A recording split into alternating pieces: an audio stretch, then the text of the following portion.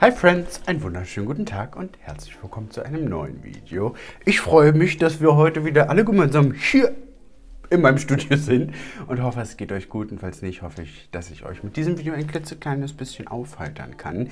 Ich hatte es euch versprochen, wir werden heute alle Catrice Neuheiten testen und da ihr jetzt sehr viele Catrice Produkte in den letzten Tagen hier gesehen habt, dachte ich mir, packe ich noch ein paar andere Produkte dazu, die so ein bisschen neu sind, die ich nochmal erklären möchte und ich glaube, dass die gut zu diesem Video passen. Falls ihr hier neu seid, würde ich mich freuen, wenn ihr den Kanal abonniert und lasst mir doch unbedingt ein Like da. Des Weiteren sind in diesen Videos wieder einige Emojis versteckt. Zählt diese gerne, schreibt mir, wie ich euch kontaktieren kann und dann könnt ihr einmal von mir das komplette neue Catrice-Sortiment bekommen. Alle Produkte in allen Ausführungen, die ich habe, plus das Nagellack-Set. Und das Ganze mache ich äh, demnächst nochmal, aber ich wollte es euch hier einfach schon mal sagen. Und dann könnt ihr ein bisschen was gewinnen. Ich starte tatsächlich auch direkt schon, denn es gibt wirklich viele, viele Produkte. Und ich möchte gleich mit dem Energy Superfruit Protection Serum anfangen. Ich habe schon einige Sachen getestet. Das heißt, ich kann euch schon so ein bisschen was sagen. Das mochte ich sehr, sehr gerne. Einfach so ein bisschen als Primer. Als aller, allerersten Schritt. Es zieht gut ein. Es ist nicht parfümiert, hier ist Blue Light Protection drin. Ihr kennt meine Meinung zu Blue Light Protection. Ich weiß nicht, ob das was bringt. Ich habe keine Ahnung, ob das nötig ist. Es fühlt sich aber auf der Haut sehr gut an. Ich war vor ein paar Tagen bei der Kosmetik, deswegen sehe ich so ein bisschen zerruppt im Gesicht aus. Aber dafür ist das ganz gut. Also ich habe das jetzt die letzten Tage benutzt und das hat mir wirklich gut gefallen. Ich mache aber auch direkt weiter und zwar mit meinem Primer, der eigentlich eher wie so eine Feuchtigkeitscreme ist. Ich nehme nur eine ganz, ganz kleine Menge. Der ist ja super, super reichhaltig und ich wollte an dieser Stelle auch nochmal sagen, alle Rossmann-Filialen sind nochmal bestückt worden. Also wenn ihr nichts bekommen habt, Schaut gerne vorbei. Es ist noch was da, in den Filialen nachträglich angekommen. Und äh, wenn ihr noch nicht die Möglichkeit habt, in eure Rossmann-Filiale zu gehen, geht hin, holt euch Backups, weil ich glaube, das war tatsächlich die letzte Runde von der Auffüllung. Aber nur damit ihr die Info einmal von mir bekommen habt. Alles auf der Haut fühlt sich sehr, sehr gut an. Jetzt seht ihr so ein paar Unreinheiten. Die werde ich auch gleich abdecken, denn wir haben ja diese nagelneue Skin Hydro Tint Foundation die recht spannend klingt, muss ich sagen. Bevor wir das machen, möchte ich einen Primer benutzen. Auch den habe ich schon benutzt. Ihr kennt mich, ich probiere so ein bisschen ja, vorab schon die Sachen zu testen, um euch ja, ein kleines Feedback zu geben. Das ist der Vitamin C Fresh Glow Primer. Der ist vegan, hat kein Silikon, kein Mikroplastik und keine Parabene hier mit drin und ist aus der Clean ID Reihe. Der ist ähnlich wie der Tensational Primer, würde ich sagen, hinterlässt aber nicht so viel Glow. Mittlerweile, vor allen Dingen bei diesen Skin Tints, ist es mir persönlich wichtig, sehr viel Hautpflegeprodukte vorher zu benutzen und sie auch so einen kleinen Moment auf der Haut zu lassen. Bei diesen Skin Tints ist es oft so, dass sie so leicht sind und sich so mit der Haut verbinden, dass wenn ihr wirklich euch ein paar Minuten vorher Zeit nehmt, die Produkte zu benutzen für eure Hautpflege, sieht das Ganze schöner aus. Und eigentlich, also ein bisschen schwierig. Eigentlich wollte ich so einen No-Make-up-Make-up-Look machen heute. Das kann ich aber nicht. Also, das, das, das kriege ich nicht hin. Deswegen wird es wahrscheinlich eine leichte Base und sonst Full Coverage und Full-on Glam Make-up. Aber ihr kennt mich, Freunde ihr kennt mich. Primer, Skincare-Produkte haben mir sehr gut gefallen in den letzten Tagen. Ne? Also für das Geld ist das eine gute Sache. Jetzt seht ihr auch den Glow, auch in Kombination mit meinem Primer. Übrigens könnt ihr den auch super als Grundlage für eine BB-Cream nutzen. Macht einfach einen Spritzer von eurer liebsten Foundation hier mit rein, mischt euch das und ihr habt ein super, super leichtes Finish. Auf Instagram werdet ihr das wahrscheinlich schon gesehen haben oder ihr seht es in den nächsten Tagen. Dann mache ich euch so ein kleines Tutorial dazu. Ich überlege, ob ich erst mit den Augenbrauen anfange. Ich glaube ja. Und da muss ich sagen, ich bin wirklich ein Fan von dem Anastasia Beverly Hills Brow Freeze gewesen. Das ist mittlerweile mein drittes. Das Problem ist, irgendwann, es geht dann ganz schnell und dann trocknet das aus. Ich, ich sprühe das dann immer mit Rosenwasser oder mit so einem Wasserspray ein, dann geht es wieder. Das reduziert aber so ein bisschen die Klebeleistung, muss ich sagen. Und dieses Ding hier von Catrice ist wirklich, wirklich gut. Man muss ein bisschen aufpassen. Man darf einmal raufgehen und dann nicht mehr. Weil sonst, das, das hält halt die Augenbrauen richtig, richtig krass da. Ich habe das jetzt hier wirklich schon zwei Wochen benutzt. Ich gehe hier einfach rein und probiere wirklich jedes Haar zu erreichen. Und nicht so wie bei dem Brow Freeze, wo ich ja wirklich so hin und her gehe, sondern wirklich so nacheinander. Und dann drücke ich entweder mit einem Pinsel oder mit meinem Finger die Härchen an die Haut, gehe hier oben rüber, nehme den Rest vom Kleber weg und dann habt ihr diese fluffy Brow und jetzt seht ihr hier hinten kommt dann manchmal so ein kleines Würstchen. Finde ich persönlich nicht schlimm. Ich mache die Augenbrauen ja dann meistens vor der, vor der Foundation und kann das dann so ein bisschen ja, berücksichtigen. Und dann darf man halt wirklich nicht mehr durchgehen. Da muss man ein bisschen aufpassen, aber ganz ehrlich, wenn ich das Brow Freeze kostet, glaube ich, 26 Euro. Das kostet 4 Euro. Wenn ich 20 Euro spare, 20 Euro ist eine Menge Geld, Freunde. Und ihr habt dieses super fluffy Brow. I love it. Ich lasse das Ganze jetzt auch erstmal so und wir swatchen einmal so ein bisschen die Foundations im Gesicht. Ich bin gespannt, welche Farbe passt. Ich habe die 20 und die 30. Ich glaube, die 20 wird meine Farbe sein. Ganz, ganz wichtig bei, bei solchen Produkten, schüttelt die unbedingt, weil wenn die eine Wasserbasis haben, dann separieren sich die Produkte. Hier ist so ein Nagelöl von Catrice. Ich glaube, ihr könnt sehen, unten ist eine andere Substanz Viskosität als oben. Und wenn ihr das schüttelt, dann verbindet sich das wieder. Die soll ein gesundes und ebenmäßig aussehendes Gefühl hinterlassen, leichte bis mittlere Deckkraft haben und ein angenehmes Tragegefühl. Gib mir mal ein bisschen erst was auf meine Hand. Oh, it's a match. Uh, it's a match. Wir tragen das Ganze mal mit einem Brush erstmal auf. Ich nehme erstmal ein bisschen.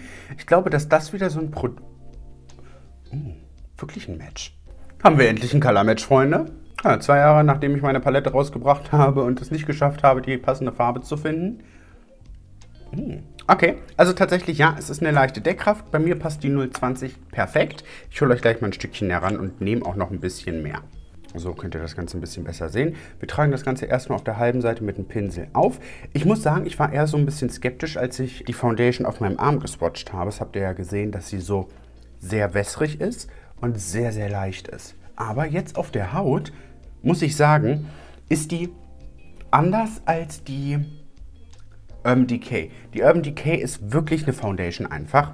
Und viele haben gefragt, ob man die vergleichen kann mit der Charlotte Tilbury. Mm -mm, kann man nicht. Also auch direkt schon hier auf den ersten Eindruck, ja, sie haben ähnliches Packaging, aber sie sind, sie ist sehr, sehr leicht und sie verbindet sich recht schnell mit der Haut. Ich gehe jetzt mal mit dem Schwamm hier einfach rüber und baue mir das so ein bisschen auf an den Stellen, wo ich ein bisschen mehr Deckkraft haben möchte. Und ganz ehrlich, fürs Frühjahr, für den Sommer, für die Situation, wo wir nicht ganz so viel Deckkraft brauchen oder auch manchmal einfach nicht wollen, ist das sehr schön. Ja, ihr seht es, ne? hier ist es alles so ein bisschen unruhiger. Ich habe jetzt keine schlechte Haut heute, einfach so ein bisschen unruhig und hier ist das sehr, sehr gut ausgeglichen. Hm. Ihr bekommt selbstverständlich auch nochmal eine komplette Nahaufnahme, so nah es geht, so dass ihr die Hautstruktur auch sehen könnt. Ich muss sagen, die sieht wunder wunderschön auf der Haut aus. Also tatsächlich sieht man nicht, dass irgendwas auf der Haut drauf ist. Vom ersten Gefühl grandios. Mit einem Schwamm habt ihr natürlich wesentlich mehr Deckkraft und tatsächlich brauche ich auch noch so ein bisschen mehr. Je nachdem, wie man es haben möchte. Ne? Ich mag es sehr gerne, wenn es so ein bisschen mehr Deckkraft hat. Ich baue das jetzt auch zu einer Deckkraft auf, die wirklich so ist, dass ich sage, okay, das gefällt mir. Farblich ist es das eingetroffen, was ich gesagt habe. Also dadurch, dass die ja so leicht ist, passt sie sich so ein bisschen besser an. Und apropos, mir hatte jemand in die Kommentare geschrieben, dass es die jetzt auch in 10 Farben gibt. Ich schaue mir das Ganze mal an. Neuheiten. Ach ja, verrückt, klasse. Genau das, was ich gesagt habe. Mittlerweile gibt es 10 Farben und äh, ich hatte ja nur die ersten vier. Mega. Dior hat ähm, eine Summertime Foundation rausgebracht mit so einem beigefarbenen Deckel. So sieht die aus. Wobei ich sagen muss, die hat sogar noch ein Stückchen mehr Deckkraft. Könnte für den Alltag eine meiner neuen Lieblingsfoundations werden.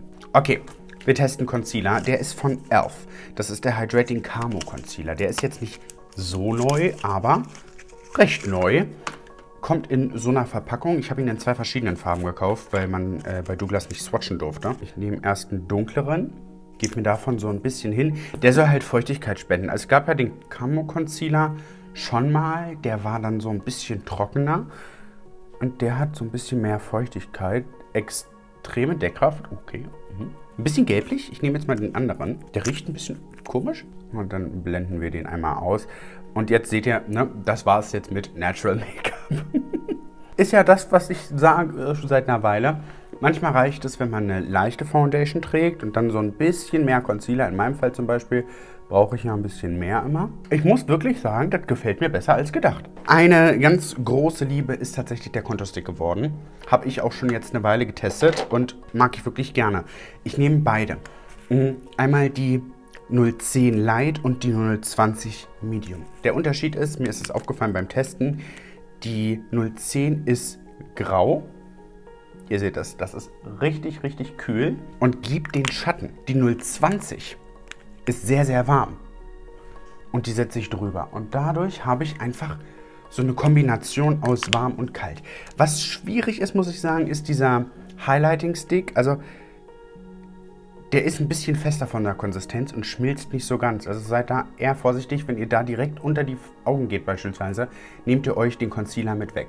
Für punktuell Highlighten machen wir gleich, funktioniert aber ganz gut. Und den habe ich getragen, der hat wirklich den ganzen Tag sehr, sehr gut auf meiner Haut funktioniert. Und den blende ich jetzt hier einfach aus und ihr seht, wie schnell es geht. Ich nehme einfach so einen T4 von Letizia und drücke einfach rauf.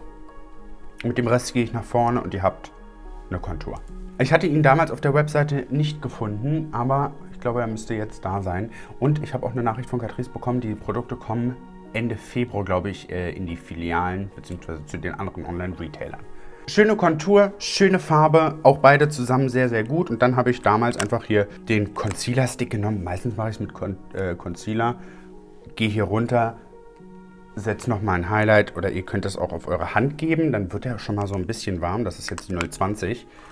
Und dann nehme ich den Pinsel und helle mir das so punktuell nochmal so ein bisschen auf. Also direkt mit dem Stick auf die Foundation würde ich nicht unbedingt gehen, aber mit so einem Brush so ein bisschen einblenden funktioniert es ganz gut. Wir haben Lippenstift, Freunde. Das ist der Power Lipstick Plumping Gel in der Farbe 010 und den wollte ich als Blush benutzen. Der hatte ja so eine tolle, cremige, gelige Textur und erinnerte mich so ein bisschen an diese Nabla ähm, Duo-Palette, wo auf der einen Seite der Blush und auf der anderen Seite dieser Gel. Und ich nehme jetzt einfach meinen Blush-Brush und gebe mir schon mal so ein bisschen hier hin. Und dann, oh, genau das ist es. Durch diese gelartige Textur legt sich alles sehr, sehr schön auf die Foundation und reflektiert dann nochmal. Also, ihr müsst wissen, Make-up ist am Ende des Tages ja nur Licht. Er riecht tatsächlich nach Ricola so ein bisschen. Ich mag das eigentlich ganz gerne, weil es mal ein anderer Geruch ist. Ich bin ja so ein Geruchsmensch. Ich liebe Düfte in Make-up, wenn sie nicht zu doll sind. Das ist ein ganz, ganz zarter Duft. Das Schöne ist, der riecht nicht so süß. Und oft riecht Make-up süß. Und ich glaube, dass das mal eine ganz, ganz schöne Sache ist, dass nicht alles nach Plätzchen und Vanille riecht. Und uh, wow. Boys and Girls, hear me out. Ich nehme einmal ganz kurz meinen Holy Grails äh, Flawless Baking Powder mit einem Pinsel tatsächlich auf. Ich nehme auch den von eben, gehe hier einfach so ein bisschen rein Concealer creased ein bisschen und mattiere mir ganz leicht hier unter den Augen und ihr seht sofort, wie ausgeglichen das alles ist. Wie gesagt, wenn ihr nicht baken wollt, selbst so habt ihr das schönste, weich gezeichneteste Finish. Ich will tatsächlich auch die ganze Foundation nicht setten. Ich mag das ganz gerne. Es ist nicht zu glowy. Es ist nicht zu glitschig. Wenn ihr so eine Foundation manchmal nicht settet, dann hat man ja so ein Gefühl, dass es vielleicht so ein bisschen rutscht. Habe ich jetzt tatsächlich nicht. Wenn ihr so eine ganz, ganz, ganz, ganz, ganz, ganz, ganz leichte Schicht auftragt, sehr, sehr, sehr, sehr schön. Wir haben aber noch dieses neue Puder und das ist die Banana Shade mit 12 Stunden Lasting-Effekt. In der Kamera sieht es jetzt gar nicht so gelb aus. Ich gehe hier einfach auch rein und helle mir den unteren Augenbereich noch ein bisschen auf. Das ist jetzt nicht so ein richtiges Gelb, aber zum Highlighten ist das sehr, sehr schön. Ich helle mir tatsächlich hier außen immer auf.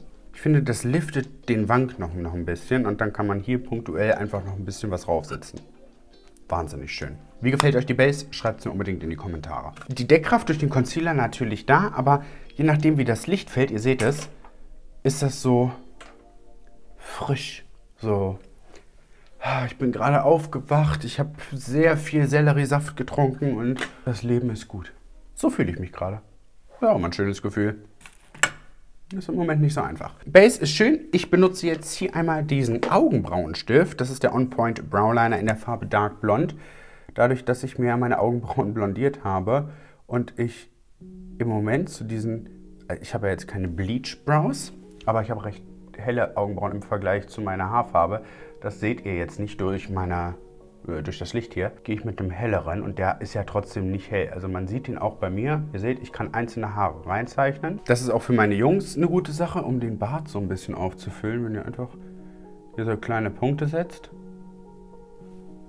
Ein bisschen ausblendet. Ja, gefällt mir besser als der damalige. Es war ganz verrückt. Damals im Sortimentsupdate hatte Catrice welche rausgebracht mit Essence und mir haben die von Essence damals besser gefallen. Jetzt haben wir einen sehr ausgeglichenen ausgeglichenen Look, würde ich sagen. Dann hattet ihr geschrieben, dass wir unbedingt diesen Monolidschatten als Blush benutzen sollen. Ich bin gespannt, ob das nicht vielleicht zu dunkel ist. Das könnte nämlich sein. Das ist dieser Monolidschatten in der Farbe Pinky Peony. Ich gehe hier rein, ganz, ganz leicht nur. Ich nehme wirklich viel ab. Und, ja, mh. also, wenn ihr dunkler seid als ich, sehr, sehr schön. Ansonsten könnte es vielleicht ein bisschen zu Terrakotta-lastig sein. Aber ihr seht, es gibt halt so einen so ein bisschen Terrakotta-Vibe. Finde ich ganz schön auf dunklerer Haut wahrscheinlich. Dafür kann man das gut benutzen. Und ich bin sehr, sehr traurig, dass es den Glow Lover Sheer nicht noch in anderen Farben gab. Der war ja wirklich fantastisch. Sie haben jetzt einen Highlighter rausgebracht, was auch gut ist. Ich glaube aber, dass die Farbe für, für viele nichts ist, weil er halt sehr, sehr, sehr, sehr weiß ist. Ich nehme einfach einen Brush jetzt hier rein und daste das nur rüber. Und ihr seht, ne, das ist schon sehr hell und ist eher wie so ein Highlighting Powder. Glaube ich, ein bisschen zu viel Mika drin. Hm. Also, wenn ihr ganz, ganz hell seid, könnte ich mir das als Finish Puder vorstellen. Als Highlighter ist es mir persönlich zu schwach. Das ist wirklich nur so ein Hauch. Deswegen benutzen wir hier nochmal den Holy Grails Highlighter. Der passt farblich natürlich so ein bisschen besser zu mir. Und den setze ich mir hier oben hin. Und dann habt ihr halt auch wirklich diesen super Wet Skin Look selbst wenn ihr die Foundation settet vorher, könnt ihr mit diesem Highlighter so ein bisschen was erreichen. Ich liebe die Brows heute. Und jetzt kommen wir zu der Palette. Da haben sich so viele drüber gefreut. Tatsächlich, ich mich auch, denn das ist so eine Palette, die habe ich so in der Drogerie auch noch nicht gesehen. Klar, wir haben wieder diese Basic-Farben, ne, dieses etwas kühlere Terrakotta, wärmere Töne, aber dann diesen Hint of Mint. Finde ich super gut den Namen. Und ich möchte heute auch wirklich einen super simplen Look damit schminken. Sehr frühlingslastig. Dem jetzt hier mal so einen kleinen Pinsel. Ach, der ist sogar von Catrice aus irgendeiner LE. Und gehe in die Farbe Shady, das ist mein Name. Und platziere mir das nur in die Crease. Wirklich hier außen hin, um hier einfach so ein bisschen Tiefe zu erzeugen. Sehr pigmentiert und blend das aus. Es wird ein sehr, sehr simpler Look heute, Freunde. Also dadurch, dass die Base ja schon so fresh ist, super kühl, kann ich mir gut als Konturton vorstellen, möchte ich heute wirklich so einen cute Mint-Look schminken. Jetzt, Freunde, nehme ich mir einen flachen synthetischen Pinsel und gehe in die Farbe Mint. Das ist dieser Blauton und presse den erstmal hin, schau mir an, okay, hm.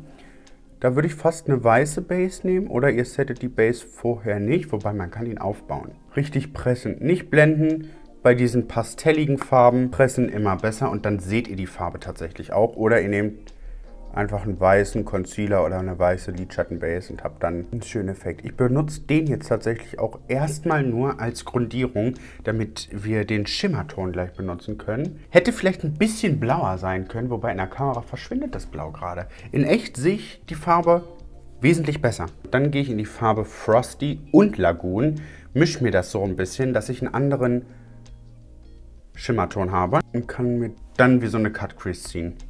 Yes. Hm. Schön. Ganz tolle Kombination, weil es so, ich sage es oft im Moment, ne, effortless, so. Aber trotzdem halt ein Look. Ihr habt so einen frischen, frühlingshaften Touch auf den Augen. Mag ich sehr, sehr gerne. Außen gehe ich jetzt doch noch mal so ein bisschen mit einem kleinen Brush in die Farbe Intuition und blende mir das in die Lashline rein. Um das Ganze so ein bisschen hier auszusmoken, wie so ein, ja, fast schon wie so ein smoky Liner. Also der Concealer gefällt mir tatsächlich nicht so gut gerade. Vielleicht muss man ihn baken. Und unten gehe ich ganz leicht in die Farbe Velvet und Shady und smoke mir das so in die Lashline rein und dann hier außen so ein bisschen hoch. Das liftet das. Ihr habt einen Look, der so ein bisschen Cat-Eye-mäßig ist, aber ganz smoky. Und wenn ihr wollt, könnt ihr dann noch die Crease so ein bisschen kontrastieren. Heißt das kontrastieren?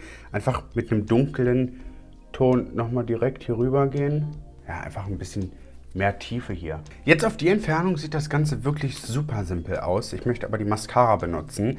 Äh, das ist die Maxit Mascara. Habe ich schon getestet, mag ich sehr gerne.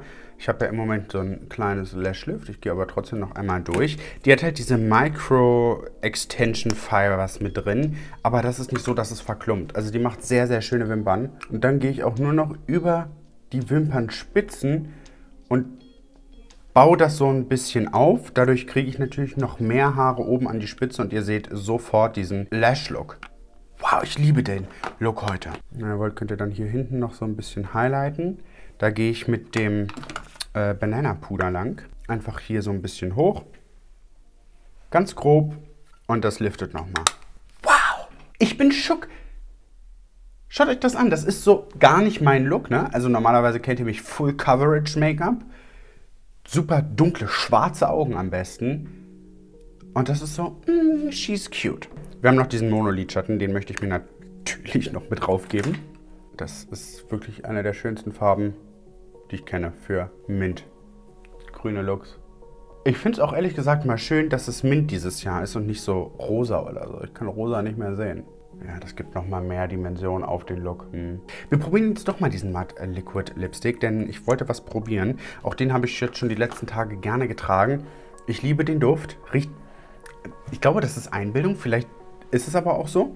Ich finde, der dunkle, das ist die Farbe Exclusively Me, riecht ein bisschen nach Schokolade. Und so dunkel ist der gar nicht. Ihr seht, der hat eine super schöne Deckkraft. Wir lassen den ganz kurz antrocknen, aber nicht zu lange. Denn was ich im Moment super, super gerne mache, ich, ich nehme einfach einen Concealer, reibe den so ein bisschen in meine Haut, an den Finger.